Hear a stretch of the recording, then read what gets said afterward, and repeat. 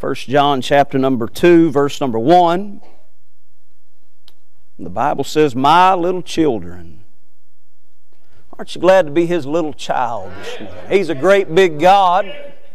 And he loves little old me. Amen. These things write I unto you that ye sin not. And if any man sin, we have an advocate with the Father, Jesus Christ the righteous.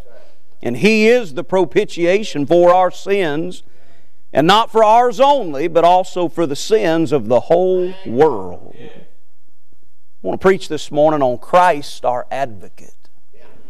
Christ our advocate. What you have here, where we just read, is a courtroom scene. God the Father is the judge, and the devil is the prosecuting attorney. And the Bible calls him in Revelation 12:10 the accuser of the brethren. That's what he does. He goes back and forth before God, says, Do you see what he did? Do you see what she did? You know what the devil is? He's a tattletale. I can't stand a tattletale. We've, we've got five children and we've tried to teach our kids. I mean, if somebody's doing something that's going to harm themselves or somebody else, well, let somebody know. But a tattletale is somebody they tell just like they like getting people in trouble. They like seeing people get in trouble. You're never more like the devil than when you're being a tattletale. Amen. And all the tattletales ain't in the nursery and in junior church on Sunday either, by the way. Amen. He's the accuser of the brethren, but then we find in Job 9:33 that we have a daysman.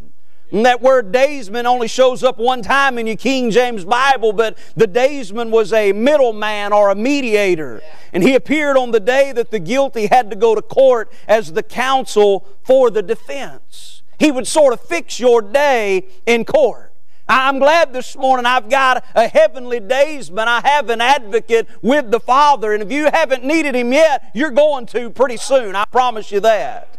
I remember some years ago I was pastoring there in Asheboro, North Carolina. We was having a jubilee kind of like this, and and uh, it was Friday night, and the little church was packed out, and a lot of visitors came. Some youth groups came down for that service, and we'd already had one preacher, and some folks were up singing, and God just got moving in a big way. And Brother Mark Stroud was supposed to preach next, and y'all know Brother Mark if you've been around him at all. If he feels the wind blowing a little bit, man, he's going to pour fire on me. He's going to run with it. And man, he just started sort of taking over that service, and and uh, people started testifying and coming to the altar and rejoicing. Just one of them sweet services. And I remember a young black man stood up from a youth group that had come down from Winston-Salem. And he said something like this. He said, Man, I'm glad I'm saved, and I'm glad that church bus comes to the projects where I live and picks me up and takes me to church. And, and I'm glad I get to go to the Christian school now, and God's been good to me. And then tears started rolling down his cheek, and he said this. He said, There's a lot of bad stuff goes on in the projects. He said, I hate to admit it, sometimes I still get involved in it. He said, I was reading over there in the Bible the other day and it told me, I've got an advocate. He said, I don't know all about that advocate, but I know I got me one. About that, about that time, amen, we was rejoicing and weeping with him, and Brother Jeff Harmon was sitting right in front of me. Brother, Brother Ledbetter, you know how timid and shy Brother Harmon is. And Brother Jeff just started, he jumped up and said, I'll tell you what an advocate is. And for about five minutes, he preached to that boy about what an advocate is while we shouted and wept over the fact we have an advocate with the Father. Hallelujah. Let me give you several thoughts here about Christ, our advocate, and we'll take our seat. Number one, notice the appeal. The, the appeal here is found in verse number one where he said, My little children, these things write I unto you that ye sin not. Here's the appeal, brother and sister. This is real deep. You're going to want to write this down. Don't miss it. Here it is. Don't sin. Now, I, I stayed all, up all night studying to give you that, and I only got two amens. Amen. Don't sin. This is deep stuff, y'all. Man, I tell you what, as a child of God, amen, there ought to be something inside of me that says, don't sin, don't get involved in that, be separated from that, be holy, amen.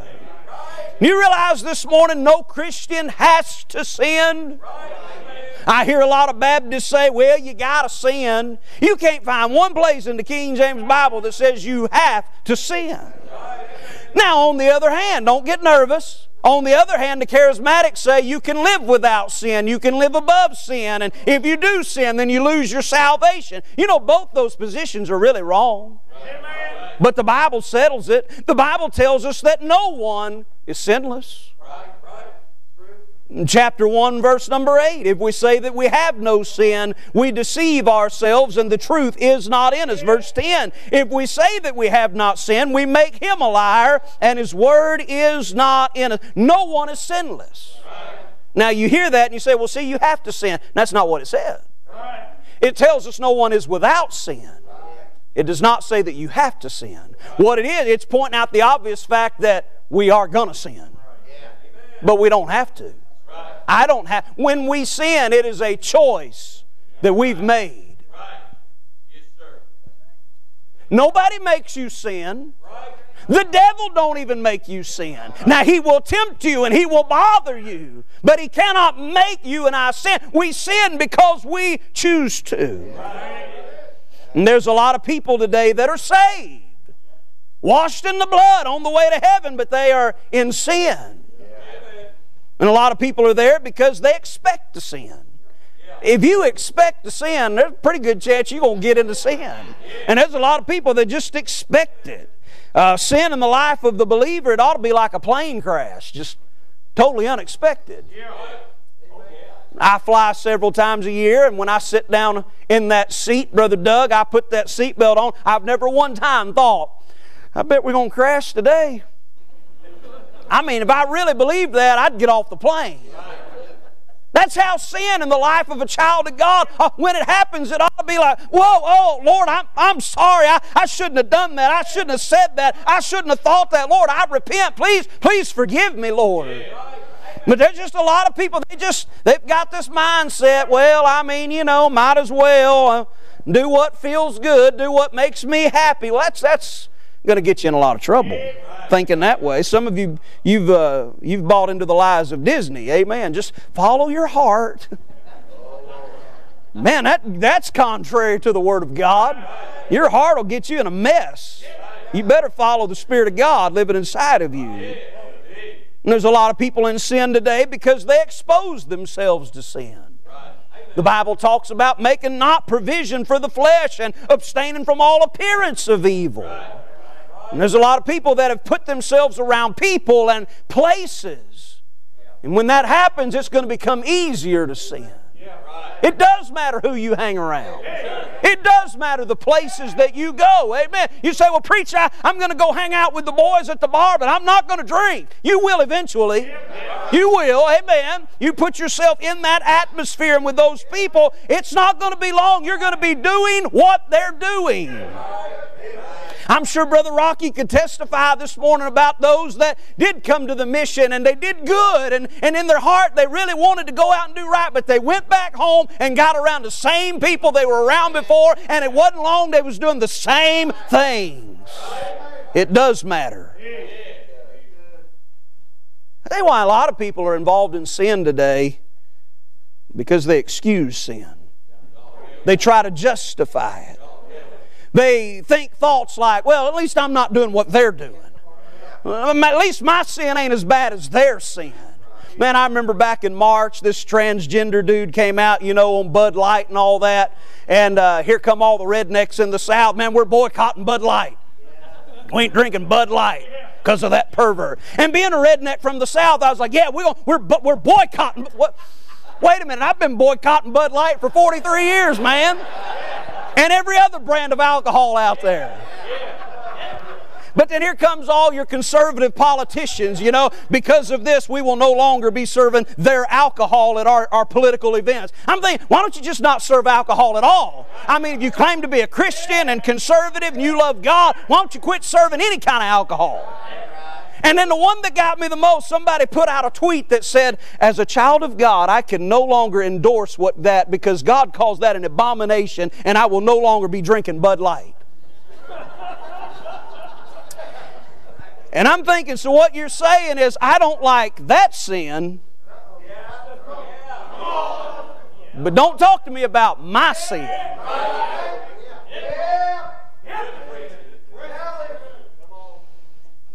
We excuse it away. I see t shirts sometimes say things like, I love Jesus, but I cuss a little. I mean, no, you don't love Jesus. I didn't say you wasn't saved, but you sure don't love the Lord.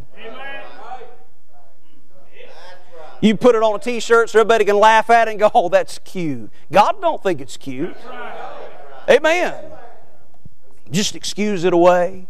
I mean, I, look, I'll even be gracious with you this morning. You, you might be saved and really trying to live for the Lord, and sometimes them words are still there. Come on, don't leave me hanging up here, y'all. They're still there.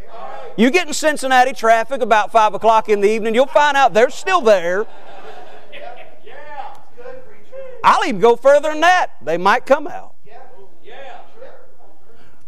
But when they do, you don't want to slap it on a t shirt for everybody to laugh at it and say, oh, that's funny. Amen. If anything, you're saying, Lord, I'm sorry. I should not have said that or even thought that. I'm sorry, Lord. We just excuse it away, we make light of it. Amen. We're in a day where men are running off uh, with other women and women are running off with other men. And every, every preacher I've ever known that, that cheated on his wife, they all say the same thing. Well, she, she was crazy. Like that justifies what you did. She was crazy. Of course, you made her that way. Amen. Just go ahead and acknowledge you're a sorry dog, you're a sorry man, you're a sorry woman. Amen. Just get right with God. Amen. Quit trying to justify it and excuse it. We, heard about restoration yesterday. Praise God for it. But there's got to be repentance. There's got to be some repentance. And as long as you're making excuses for your sin, there'll be no restoration. So the appeal is very simple don't sin. But man, I'm glad the verse didn't end right there. We'd all be in a mess. Notice, secondly, this morning, the advocate. And if any man sin, we have an advocate with the Father, Jesus Christ the righteous. Aren't you glad it said, and if any man sin? Don't sin. And if you do, all right, all you perfect people, you ain't going to get a blessing out of this, but some of us will get some help today. Amen. I, I am commanded as a child of God, I am commanded not to sin. And yet I have the glorious, blessed assurance that if I do sin, my sin is covered by the blood of Jesus Christ. I'm still His child. I'm still in the family of God. Amen. And there's still hope for fellowship with God because I have an advocate with the Father through Jesus Christ. Aren't you glad for that this morning? Let me, let me say, maybe you're here this morning and you come from a background that taught that you could lose your salvation. Have you ever thought about this? Since you got saved, don't answer this out loud, but since you got saved, have there been some things you didn't even realize were sin? Maybe it was a week, maybe it was a year or two years, and you didn't even realize that was sin. And at some point, it dawned on you, I don't need to be doing that. Well, if that's the case, how many times did you get lost? And you didn't even know it? No, I'm glad this thing is settled. Amen. I am sealed with the Holy Ghost. Amen. Uh, amen. He's going to keep me all the way through. Amen. I may mess up. I may make mistakes. We will make mistakes. Amen. But I'm glad as far as my salvation goes, it's set. If you ever get saved, you are saved for time and eternity. You'll never be unsaved again. 1 Timothy 2 5 says, For there's one God and one mediator between God and man, the man Christ Jesus. He's our mediator. And you know what He's doing? You know what Jesus Christ is doing for us today as His children? He's maintaining the fellowship between us and the Father. 1 John 1 9 said, If we confess our sins, He is faithful and just to forgive us our sins and to cleanse us from all unrighteousness.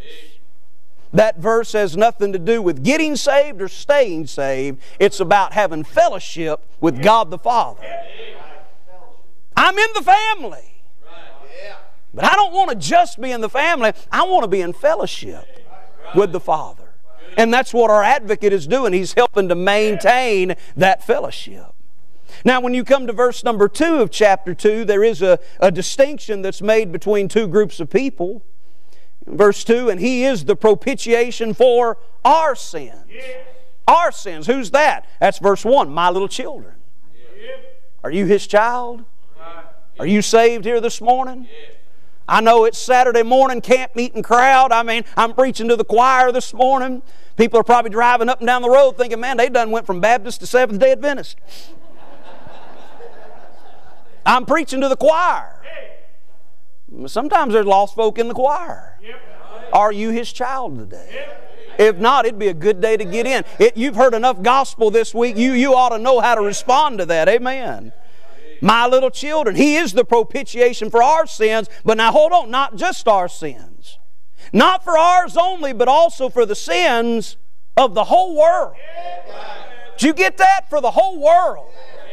What Jesus did on the cross there at Calvary, amen, He did it for the sins of the whole world. Every man, woman, boy, and girl that would ever walk the face of this planet, propitiation has been made. Eh, salvation is available to all who will come to Him in faith and repentance. He will not turn you away.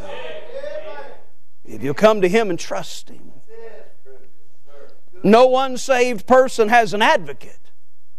But according to verse 2, propitiation, you do have propitiation that God's advocate made at the cross of Calvary. It's available, but you don't get Christ as your advocate, your lawyer, until you accept His propitiation. So we see the appeal, don't sin. We see the advocate, if you do. Lastly, we see the assurance. Look at verse number 3. And hereby we do know that we know Him if we keep His commandments. That verse right there has to do with assurance. Now, it doesn't mean that if we break His commandments that we're not saved. If that was the case, the verse would have said, Hereby we do know Him if we keep His commandments. That's not what it said. It said, We do know that we know Him. You know what that means? It is possible to be saved but not enjoy the assurance of it if we allow sin to come into our lives and we let it just build and build and we don't confess it, we don't forsake it, we don't repent of it. At some point, you lay this book aside, it's going to be easy to get into sin. You, you lay the Word of God aside, you, you let your prayer life slip, it won't be long, you'll be in sin. And if you let that thing go and go and go and you don't bring it to God and deal with it, at some point the devil's going to come along and start talking to you. Yes, and he'll start saying things like, You think you're really saved? I saw what you did. You think you're really God's child when you did that? By the way, did you notice the devil never talked to you like that before you got saved? Before I got saved, Brother Jeffrey, he was telling me things like, Don't listen to that preacher. You're good. You're fine. You ain't got nothing to worry about. You're okay. Don't go down that altar. It was after I got saved that he started telling me, You ain't saved. And if that ain't bad enough, there's Baptist preachers that preach just like the devil.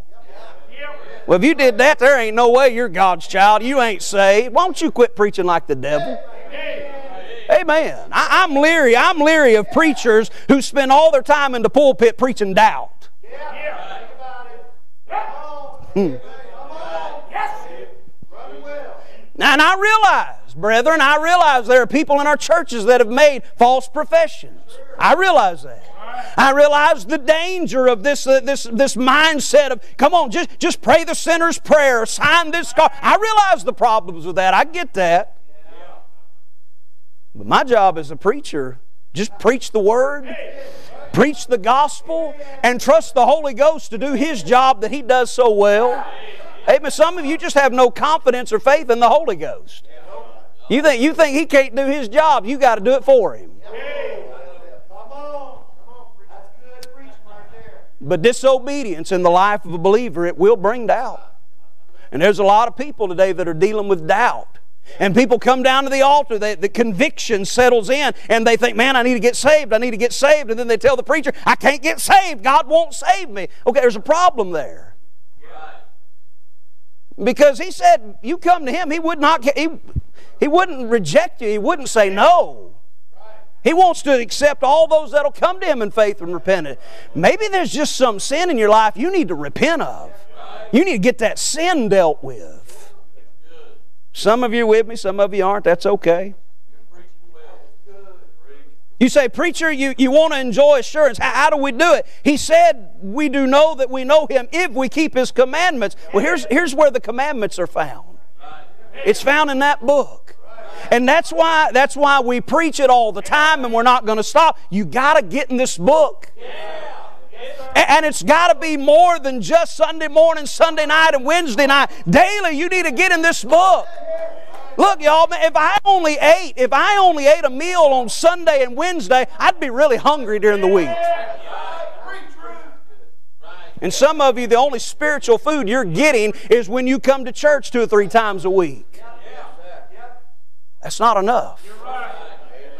You got to get occupied with the Word. Uh, the Bible said about the godly man in Psalm 1, verse number 2 His delight is in the law of the Lord, and in His law doth he meditate day and night. Let me ask you, what are you meditating on?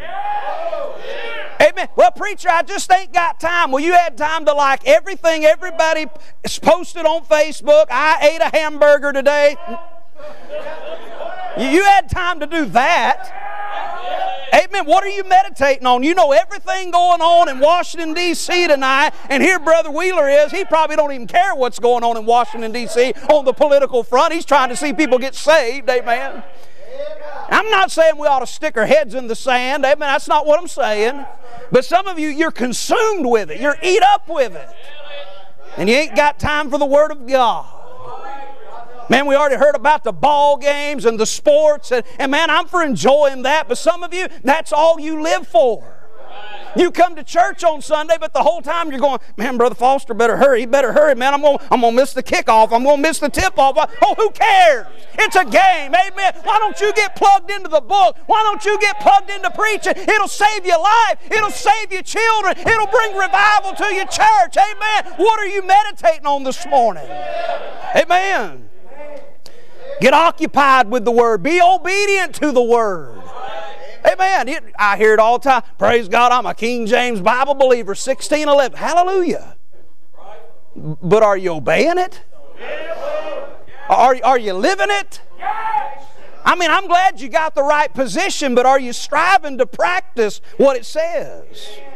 And we can overcome by the Word. There might be somebody here this morning, you know you're saved, but you're just dealing with something. Something's got a grip on you. You feel like there's no hope. You feel like there's no way out. There is. But only through that book. You got to get that book in your heart, get it in your mind. Amen. I mean, saturate your life with thy word if I hid in my heart, that I might not sin against God. You lay this book aside, it'll be that much easier to get into sin. I want you to go to the Old Testament book of Zechariah, chapter 3, and I'm done right here. Zechariah, chapter 3, toward the back of the Old Testament. I'll give you a minute to get there.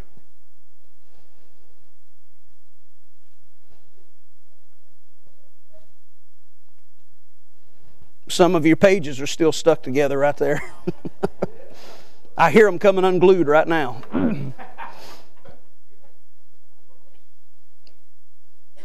I had a Scofield for probably 20 years. I could have told you what page number it is, but I changed. It's still King James, it's just not Scofield.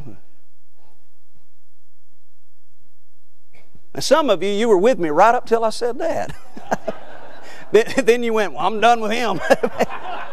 some of you pastors were about to book me for a meeting until I said I don't have a Scofield anymore. yeah. What, what we have in Zechariah 3 here, I believe, is a great parallel to what we just saw in 1 John 2. Look at Zechariah 3, verse 1. And he showed me Joshua the high priest standing before the angel of the Lord, and Satan standing at his right hand to resist him. And the Lord said unto Satan, The Lord rebuke thee, O Satan. Even the Lord that hath chosen Jerusalem rebuke thee. Is not this a brand plucked out of the fire? Now Joshua was clothed with filthy garments, and stood before the angel. And he answered and spake unto those that stood before him, saying, Take away the filthy garments from him. And unto him he said, Behold, I have caused thine iniquity to pass from thee, and I will clothe thee with change of raiment.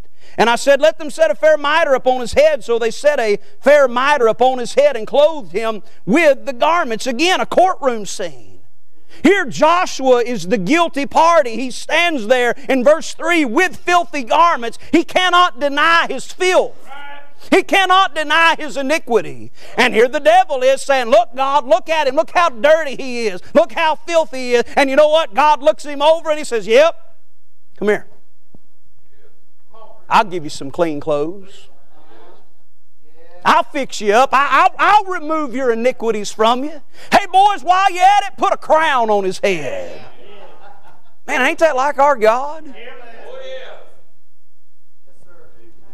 We've had five children, I mentioned a while ago, and we just had our first grandbaby about five months ago. And man, them babies are sweet. Especially when you can send them home after a while. They are, they're sweet. They're cute. They can do some nasty stuff, though. Hello. I mean, nasty.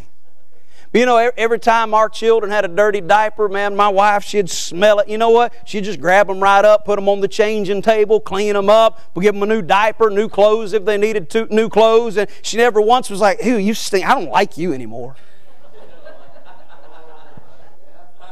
No, I mean, she'd get them all cleaned up and she'd tickle them and play with them, get them smiling, and put them down, send them on their way to play because she loves her children.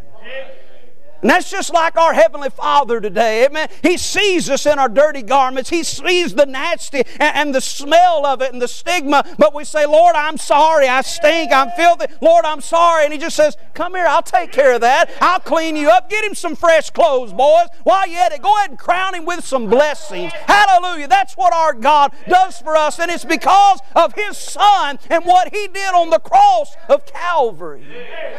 By the way, I've noticed a trend amongst a lot of young parents nowadays. I'm hearing this a lot, y'all. It's your turn to change the baby. I changed them last time. No, it's your turn. I did it last night. It's your turn. And, and, the whole time you're arguing over whose turn it is, the baby's sitting there waddling around in that nasty mess, probably getting a rash on their body. Just change the baby. Yeah. Get over yourself and change the baby. I was trying to be nice. Amen. I thought we was going to finish on cloud, you know, but Change the baby. You ought to thank God your Heavenly Father ain't that way. Amen. Aren't you glad you come to Him? He doesn't say, No, that's too nasty. No, that's too bad. No, you or I changed you last week. Well, no, no, no. Every time He just says, Come here. Come here, let's get you cleaned up. Let's get you fixed up.